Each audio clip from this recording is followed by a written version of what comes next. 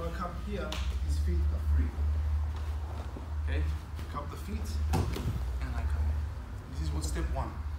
Step one to passing the guard, but passing a good guard. Yes. Of course, for some white belts, maybe you go like, I could just come in. Okay, of course, yes, but for good guys, you have to be step by step. You know what I mean? So you gotta come in, do 30 feet, come to this position. Okay? So I'm here now, I'm pretty much sitting on this hook. You guys see that? So now what I'm gonna do, I'm here, look, my hands cupping here, or I'm gonna grab this collar here. Everyone do gi here, yeah? Pretty much. Okay, so I'm here now, look, I'm gonna push this knee down, push this knee down, and from here, as this knee comes, this knee comes to the direction of his knee. Boom, and I bring my hip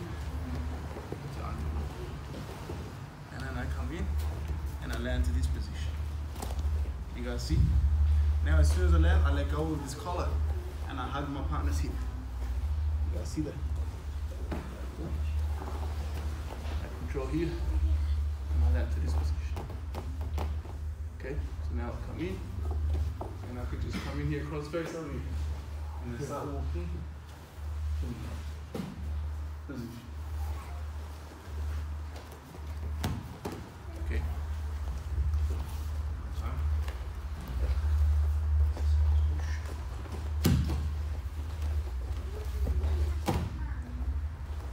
Okay, see that? That's the first thing. Okay.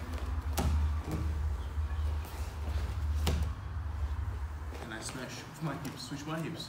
But now, very important, if I switch my hips, I have to clean look. Hips have to come down. So all my weight is on Almir's legs. Here, boom, boom, right there. Now I hug, and I'm patient here. No rush in this position. I'll come across face and I'll push towards the knee.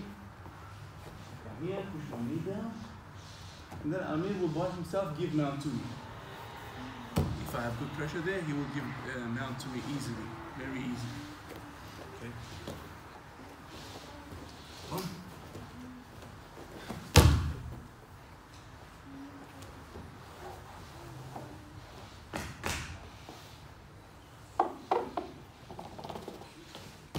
I'm using my toes. and, Okay? Let's go. One, two, three. Okay, one, two. Let's go.